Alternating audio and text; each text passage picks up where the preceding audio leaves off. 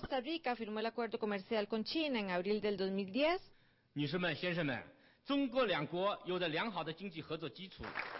Este idioma usted lo escuchará en el campo diplomático, deportivo y también comercial.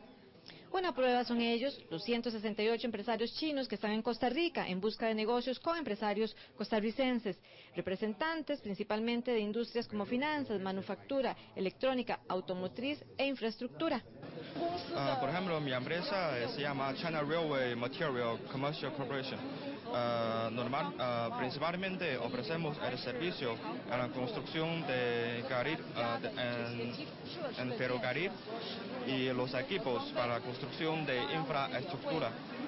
Esta tarde 150 empresarios ticos se sentarán con un portafolio de expectativas a la casa de sus negocios con China. Es el caso de don Jorge León con su empresa de muebles. Es muy importante para nosotros los costarricenses y los empresarios que tenemos productos tal vez con un poquito más de, detalle, como lo que son artesanías y otros productos de calidad, para incursionar en esta eh, rueda de negocios este, con nichos definidos en, China.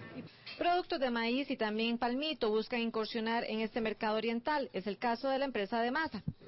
Y creemos que en el caso de palmito pues va a ser un proceso, pero hacemos productos que son muy exóticos, muy diferentes, placenteros y creemos que eh, paulatinamente vamos a poder darlos a conocer.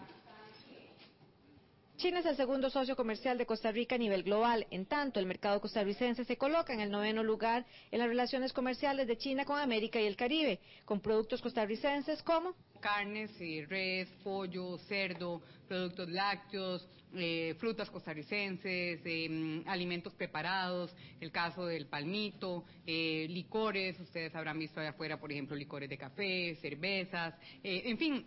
Productos como estos tienen una gran oportunidad en esta primer cumbre empresarial con China organizada por COMEX, Procomer y CINDE en el Real Intercontinental.